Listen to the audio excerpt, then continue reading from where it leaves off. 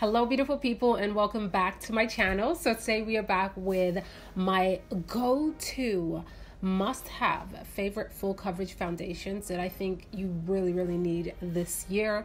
All of these foundations pretty much work on all skin types. So if you're oily, dry, normal combination, I think these would work amazing. I am going to tell you how to prep your skin to get the best results for each foundation. And yeah, I'm just so excited. I love them all. Some are old, some are a little bit new, and I do have one of them on right now. So let's go ahead and get into this. But before we do, don't forget to subscribe if you are new to this channel. Also, give this video a big thumbs up because it helps me a lot and let's go ahead and get into it. So before we go ahead onto the foundation let's address all of this. We wanted a little bit of a change and i thought you know why don't we go for some hollywood curls? And that's what we did. If you guys want a review on this unit then definitely let me know. I'm loving it so far. Um perfecting it wasn't easy. I'm kind of new to the whole unit game. Well i have used them before but you know it's not easy. So for y'all that wear wigs on a regular basis, please leave a comment down below with all of your tips and tricks because even doing my baby hairs today took me forever. When I think of a full coverage foundation, I want something that's still not gonna look super cakey on the skin. I just do not like that look on anyone. So I tend to go with foundations that can be built up really nicely, but still mimic the texture of your skin and still look really, really flawless and not heavy and cakey. And you you just don't want to go around feeling like you have a mask on your face. So I feel like all of these foundations that I have in front of me, how many do I have? One, two, three, four, five, six uh, foundations. They are just that. They give me amazing full coverage. They last all day long. They wear beautifully. They look amazing on the skin, super easy to blend out, and they work with a lot of different primers. And when I layer all my other products on top of it, it just comes out beautifully. Okay, you guys see the makeup right now. This is full coverage, but on a more natural way. These are all high end foundations. If you guys want me to do just a drugstore version of this uh, video, then definitely let me know in the comment section. I'm gonna be honest, I tend to gravitate towards full coverage, found, well, foundations in general from Sephora from high end brands. Um, one, the shade selection is a lot larger, even though the drugstore is okay, it's coming up. Trust me, Maybelline and um, CoverGirl are really like killing it with the with the shade range, but I tend to gravitate towards higher end foundations just because of the performance. It's what I'm used to. I test them out a lot for my channel and also for my freelance kits. I still do brides and take on clients and stuff like that. And my kit is definitely more of a higher end kit. It reflects on the prices, all that good stuff. Maybe I'll do a video on um, becoming a makeup artist. If you guys want to see that, let me know. The one that I'm wearing right now, and this guy right over here, you guys have heard me talk about this so much. It's the Bobbi Brown Skin Longwear Weightless Foundation with SPF 15. I absolutely love this foundation, and out of all of them, this is definitely my number one. Yeah, it is my number one. It's my go to. I wear it all of the time.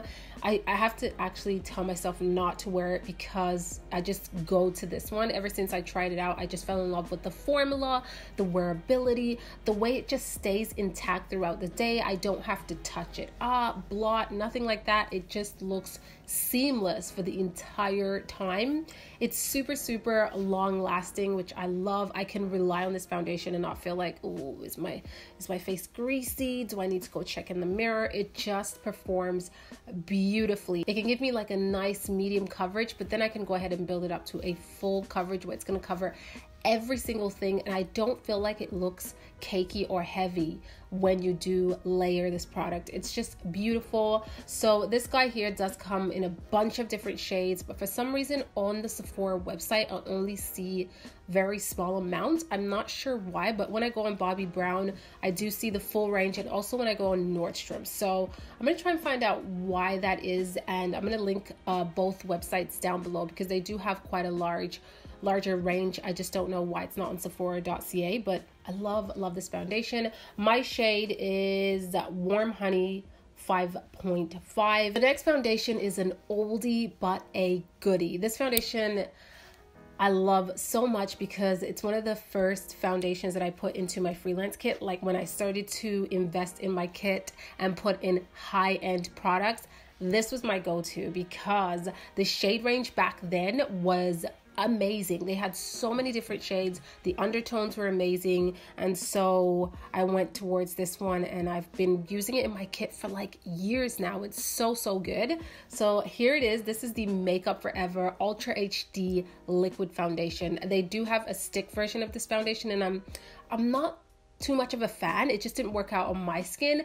But this one over here is beautiful. It looks amazing on every single skin type, depending on how you're priming and prepping the skin. But it looks amazing. It looks beautiful in pictures, for videography. That's why I love this for my brides because, you know, they're to be taking pictures all day, getting um, videos done. You want their skin to look flawless, but not like they have a mask on. And you also want them to feel comfortable. And this is the guy that I go to. It is a beautiful foundation. It's really um, like water resistant, sweat resistant. It lasts really, really, really long time and it has amazing coverage. My personal shade is Y405 and it matches me pretty perfect. Like I don't have to go ahead and change anything up with like concealer and powder. It's pretty spot on. They did go ahead and change the bottle, but the formula I think still remains the same. I didn't see a huge difference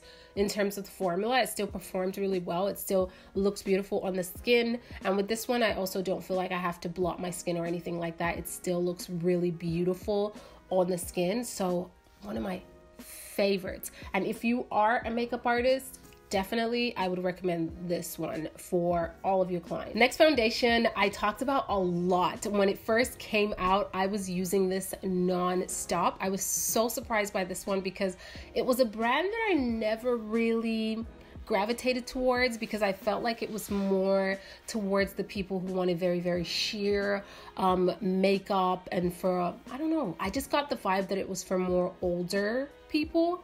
But here we go. This is the Bare Minerals Bare Pro Performance Wear Liquid Foundation. And this is, I feel like it's really underrated. I don't hear too many people talk about this foundation, but it is such a gorgeous, gorgeous foundation. The way it blends on the skin is so seamless very easy to go on the skin with a brush or a sponge. It just looks like butter. Like it's so beautiful. This is definitely a full coverage foundation but it doesn't feel or look heavy. It just looks so beautiful. It evens out everything and gives you like this very seamless flawless finish. I absolutely love this foundation. There's a large amount of shades but i do feel like they definitely need to add more shades especially in the darker and the lighter spectrum of shade ranges because there's a lot of medium shades in this one. They run a little bit darker than you would think they do, especially when you go towards the lighters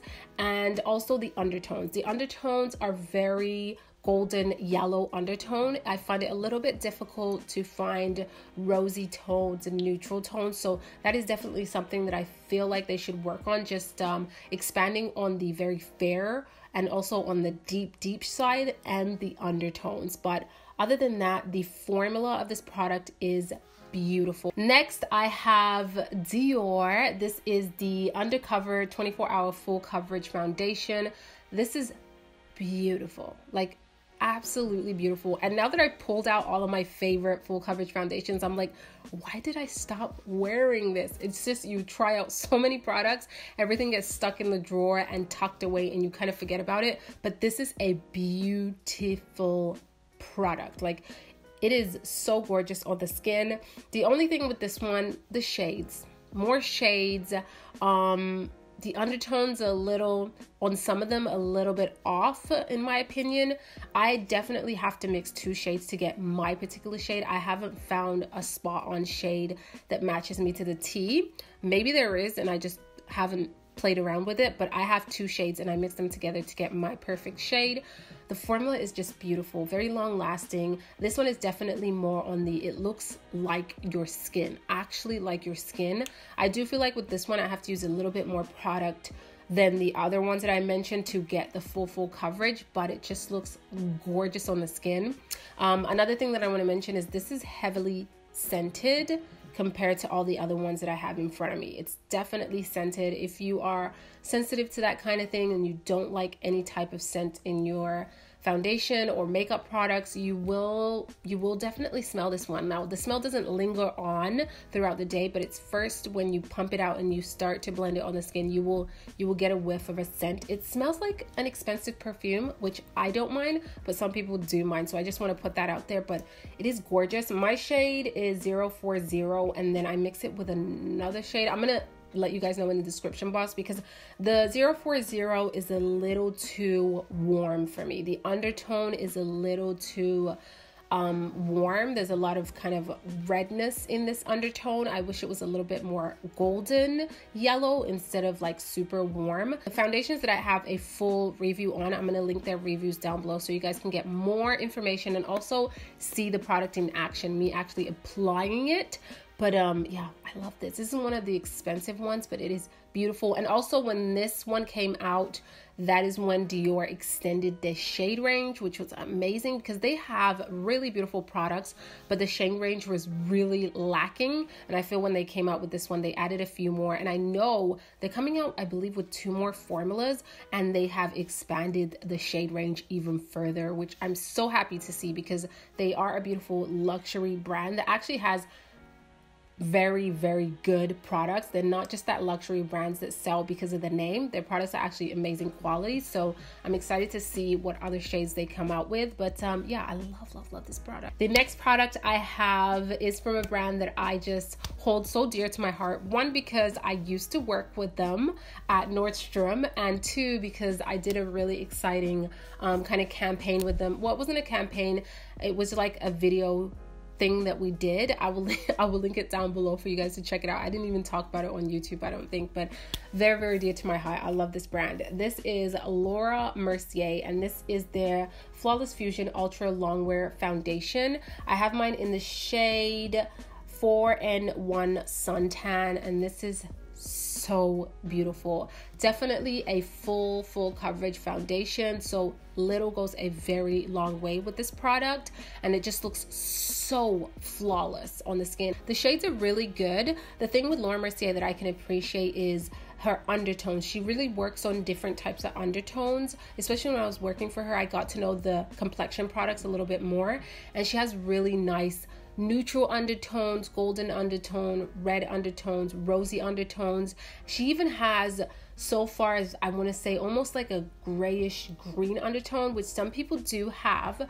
Um, so she really works well with her undertones. The shade selection definitely can be expanded, in my opinion, but I feel like a lot of people can find a shade for them it's just a really really beautiful product all in all it's a really long lasting foundation it looks beautiful on the skin. It um, blends out really really nicely. And again it looks good on any skin type.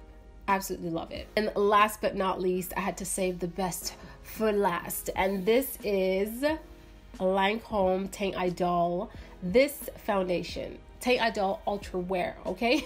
With SPF 15 and it has up to 24 hours of wear and comfort and transfer resistant. This has been on the market for years and years and years, and it is well loved. I remember when I started my YouTube channel, people would rave about this foundation all day long, and I couldn't afford it because it was high end, it was super expensive. And now look at me. Okay, I've worked with Lancome before, and I'm proud to say that. Like, I am so proud to say that I've worked with Lancome before. I have a great relationship with the brand, and they are just one of the most beautiful brands because their products, quality all around. Um, I have tried out so many products from them, especially last year. That's when I really got to know the brand and tested out a couple of different products from primers to setting sprays, eyeshadows, lip products. And this bad boy over here is definitely a hit for me. I totally understand why people love it. First, let's talk about the shade range. This has so many so many shades to select from. Like it is insane. You will definitely find a shade for yourself. They also do really really well on the undertones. There are so many different undertones within this foundation. If you are rosy if you are red if you are golden there is something for you. I have my shade in 427w and it matches me really well but it's more of my summer shade when I have a little bit of a tan. Now, I can still wear this one and make it work with a brighter concealer and my setting powder, but in terms of it matching me to a T, it's definitely more on my summer shade because it's a little bit warmer for me um, in the wintertime. I definitely get a little bit more pale, you know. Is super long lasting, full coverage without it feeling and looking cakey. It's definitely transfer resistant. Like this one will not budge. And it is another product that I would definitely recommend if you're a makeup artist and you want something in your kit that's going to be reliable for your clients. This is it. It covers like everything, but it doesn't look heavy or dry or cakey. This one has more of a demi matte finish. It's not a flat matte. I always say demi matte because demi matte is more like not complete flat matte where you don't see any shine whatsoever. You still see dimension to your skin. You still see your natural glow and like contours of your face. That's what I mean when I say demi matte definitely check this one out. It is just, it is gorgeous. Like if you haven't tried out Lancome yet, I'm sure you have, but if you, if you haven't, you are missing out. Anyone can use these. It's all about how you are prepping your skin. Now, if you have dry skin or texture skin and you really want a full coverage foundation like these guys, you want something that's a demi matte, it's reliable, but you're scared that it's going to look too dry on your skin, prep your skin properly, okay? It's all about hydration, hydration, hydration. So I would definitely recommend exfoliating your skin if you have very textured skin and you feel like that day where you're going to apply this foundation, it's just too much going on. So exfoliate your skin, okay? Moisturize your skin with your regular moisturizer. Give it a couple of minutes then go in with a super hydrating primer. You guys know that I am obsessed with the Becca First Light Priming Filter. That is definitely one of my go-to hydrating primers. And there's also the Bobbi Brown Vitamin enriched face base that's another super super hydrating products that you guys should definitely check out. They are amazing. And also do a nice setting mist. A nice setting mist will bring so much glow to your skin. I love the tatcha dewy skin mist and i also love the pixi glow mist. Both of these products work really really similar but the price point is really different. So if you're on a budget go with the pixi if you like to splurge check out the Tatcha. They're both really amazing products. And that's pretty much it. I hope you guys enjoyed this video and found it helpful. Definitely let me know in the comment section what is your go-to full coverage foundation and if you have a drugstore one let me know because i need to test it out too and um, i will try to do a video for drugstore but i don't have a lot of full coverage drugstore foundations so i'm to work on that and i definitely promise to feature more affordable products for you guys. So I'm to work on that for sure. Okay, I'm to stay away from Sephora. Thank you so much for joining me on another video. I hope this was super helpful for you guys. As always, I'm trying to put out content that will help you, that you guys enjoy. So by you leaving me a comment lets me know if yes, this is a good one and we want more of these types of videos or no, let's let's do something else. Just leave your feedback down below. I love chatting with you guys. Give this video a thumbs up and also turn your post notifications on so you are notified every time I upload a video and I will see you guys on the next one. Ciao!